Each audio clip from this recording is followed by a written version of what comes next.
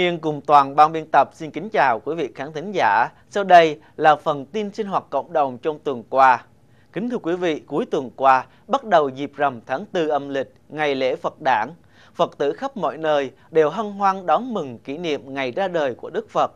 Để tưởng nhớ đến ngày trọng đại này, những ngôi chùa ở Houston đều đang rộn ràng tổ chức đại lễ Phật đản. Nhiều chùa chiền khác cũng sẽ tổ chức vào những tuần sắp tới. Trước khi chuyển đến quý vị những hình ảnh Phật đản tại các chùa chiền mà nhóm tin tức của đài ghi nhận được, cùng nhiều tin tức khác, chúng tôi xin tóm lược lịch sử Đức Phật Thích Ca Mâu Ni.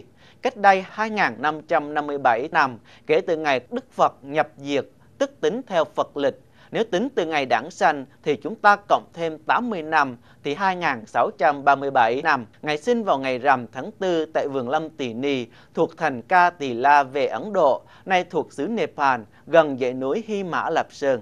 Thân phụ Ngài là vua Tịnh Phạn, mẹ Ngài là Hoàng hậu Maja. Khi lớn lên, Ngài tỏ ra xuất chúng, học một biết mười, văn võ song toàn. Ngài thường trầm tĩnh suy tư và có một tình thương rộng lớn đối với muôn loài. Vua cha sợ ngài xuất gia không ai nối nghiệp trị vì, nên tìm cách giữ chân ngài bằng thú vui ngũ dục và cưới vợ sớm lúc ngài 16 tuổi. Sau đó ngài có một con trai đặt tên là La Hầu La. Ngài nhận thấy trong cuộc sống có điều gì bất ổn. Tại sao sinh ra rồi già bệnh chết? Vì miếng ăn mà phải đổ mồ hôi khổ nhọc tranh nhau, giết hại lẫn nhau. Ngài suy nghĩ ngày đêm tìm cho ra nguyên nhân sinh tử và tìm cách giải thoát dòng sinh tử. Một hôm, Ngài đến gặp vua cha ngỏ lời xin xuất gia, nhưng vua cha từ chối.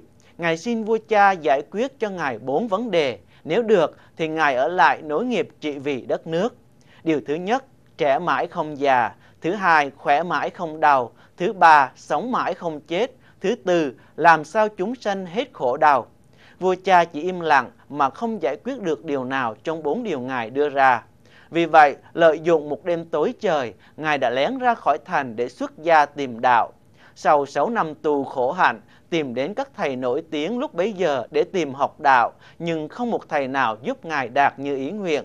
Sau đó Ngài tự tu và tự chứng đạo quả. Sau 7 tuần thiền định dưới cội cây Bồ Đề, Ngài đã thấy rõ nguyên nhân của sinh tử và con đường đưa đến giải thoát sinh tử. Chuyển sang Đại lễ Phật đảng Phật lịch 2557 tại Chùa Liên Hòa là thành viên của Giáo hội Phật giáo Việt Nam Thống nhất do Đại Lão Hòa Thượng Thích Quảng Độ lãnh đạo diễn ra vào trưa Chủ nhật ngày 19 tháng 5. Ban tổ chức cho biết đây là một đại lễ kỷ niệm ba sự kiện lịch sử cuộc đời Đức Phật Thích Ca Mâu Ni, đản sinh, thành đạo, viên tịch Niết Bàn – đã được long trọng tổ chức trong khuôn viên Chùa Liên Hòa, đang trong tiến trình vận động để xây cất do Hòa Thượng Thích Huyền Việt là trụ trì. Nhiều Phật tử đến Chùa Liên Hòa rất quý vườn sen súng do Hòa Thượng Huyền Việt chăm sóc trong nhiều năm qua. Đại lễ Phật đản tại đây đã diễn ra trang nghiêm trong không khí an bình. Mở đầu là phần cúng dường trai tăng vẫn nghi lễ tụng kinh Phật đản theo nghi thức Nam Tông và Bắc Tông dưới sự chứng minh của nhiều tăng ni từ nhiều chùa chiền khác nhau tại lễ Phật đản năm nay đã tuyên đọc thông điệp Phật đản của Hội đồng Lưỡng Viện. Nhân mùa Phật đản năm nay, trước hết, Giáo hội Phật giáo Việt Nam thống nhất khẩn thiết kêu gọi lãnh đạo các quốc gia trên thế giới, các quốc gia trong khu vực châu Á-Thái Bình Dương, nhất là nhà cầm quyền Cộng sản Việt Nam hãy tôn trọng tinh thần tự bi, từ bi, trí tuệ và bình đẳng của Đạo Phật đã được Liên Hiệp Quốc công nhận và quốc gia các thành viên Liên Hiệp Quốc đều cam kết thực thi. Quý vị lãnh đạo hãy lấy tinh thần từ bi, trí tuệ và bình đẳng làm vũ khí tối thượng để giải quyết các tranh chấp đang đưa nhân loại vào một cuộc chiến tương tàn và đưa dân tộc Việt Nam vào con đường nô lệ của một chế độ độc tài toàn trị tại chùa Quang Đức đã long trọng tổ chức Đại lễ Phật đản lần thứ 2637, Phật lịch 2557 vào chiều tối thứ Sáu 17 tháng 5, mở đầu với nghi thức tắm Phật truyền thống thường thấy trong mỗi đại lễ Phật đản. Theo Phật sử, khi Phật đản sinh, trên trời có chín vị rồng phun hai dòng nước nóng lạnh tắm rửa cho Ngài. Cùng lúc ấy, chư thiên tung hoa trời, trỗi nhạc trời, chúc mừng Thái tử. Về sau, lễ tắm Phật là một trong những nghi thức long trọng Tắm Phật là nghi thức tưới nước thơm lên tượng Phật sơ sinh, ngoài mục đích kỷ niệm Phật đản sanh, còn mang ý nghĩa về sự tẩy trừ phiền não, hướng đến thanh tịnh ba nghiệp, thân khẩu ý của con người. Người Phật tử tin rằng trong lúc tắm Phật, mỗi người lắng lòng thanh tịnh quán tưởng dòng nước cam lồ, tinh sạch này để sẽ gội nhuần tâm tư. Những tâm niệm tham lam, sân hận và si mê của bản thân nhờ công đức này mà được tẩy sạch. Những suy nghĩ, lời nói và việc làm xấu ác cũng được xóa tan. Thần tâm trở nên thanh tịnh, mát mẻ, nhẹ nhàng. Với tâm thành kính, cử hành lễ tắm Phật sẽ đem đến vô lượng công đức và pháp lạc. Trở lại với chương trình Đại lễ Phật đản tại Chùa Quang Đức, sau nghi thức tắm Phật là nghi lễ chính thức cầu nguyện, các Phật tử đến tham dự còn được lắng nghe đạo từ của các sư tăng nhân mùa Phật đản và dùng cơm chay do chùa khoản đại. Ngoài ra, Chủ nhật còn có diễn ra lễ tụng kinh cầu nguyện thuyết pháp và lễ cúng thí thực cô hồn. Tưởng niệm ngày sinh của Đức Phật Nguyện tam bảo chứng minh Nam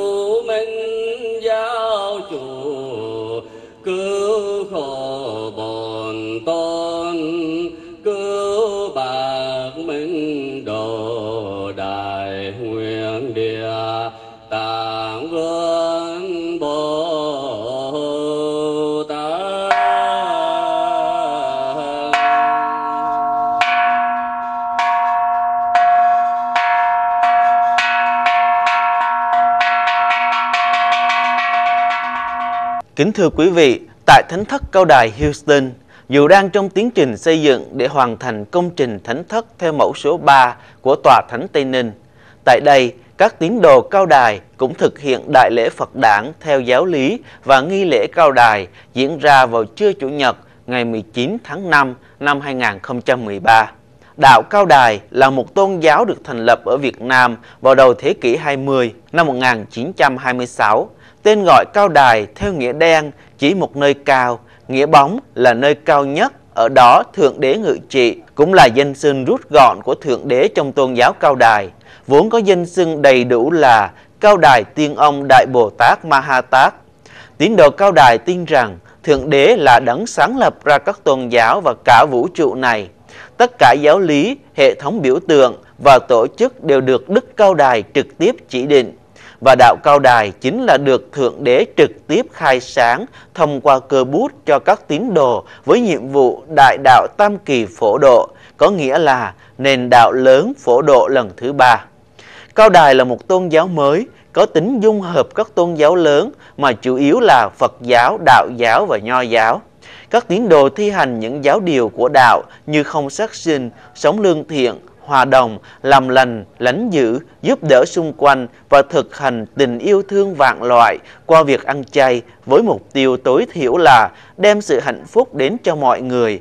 Tại Thánh thất Cao Đài Houston, tuy không có quá đông đồng hương và đồng đạo đến tham dự, nhưng nghi lễ Phật đản tại đây diễn ra trang nghiêm, quy củ, đậm nét văn hóa, tôn giáo và thờ phượng của đạo Cao Đài.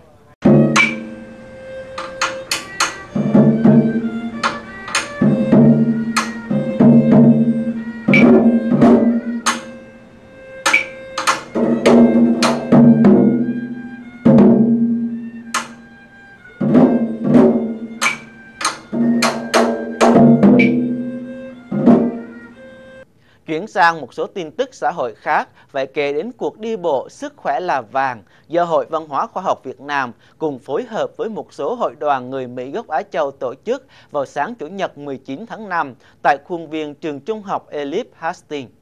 Ban tổ chức cho biết trong tinh thần tháng Á Châu Thái Bình Dương, ban tổ chức muốn tạo một phong trào giữ gìn sức khỏe với một số các buổi hội thảo về vấn đề giữ gìn sức khỏe xoay quanh các đề tài dinh dưỡng, các phương pháp ngăn ngừa bệnh ung thư và cao điểm là cuộc đi bộ 5 cây số với khẩu hiệu đi bộ sức khỏe là vàng.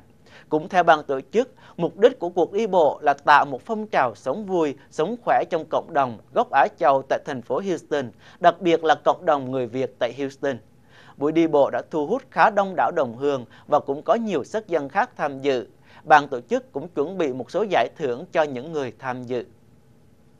Kính thưa quý vị, Chủ nhật cuối tuần qua 19 tháng 5, Trường Việt ngữ Huyền Quang trong khuôn viên Chùa Việt Nam đã tổ chức lễ phát thưởng cuối niên học cho tất cả các cấp diễn ra tại hội trường của chùa. Rất đông các bậc phụ huynh, các em học sinh và các thầy cô giáo của trường đến tham dự.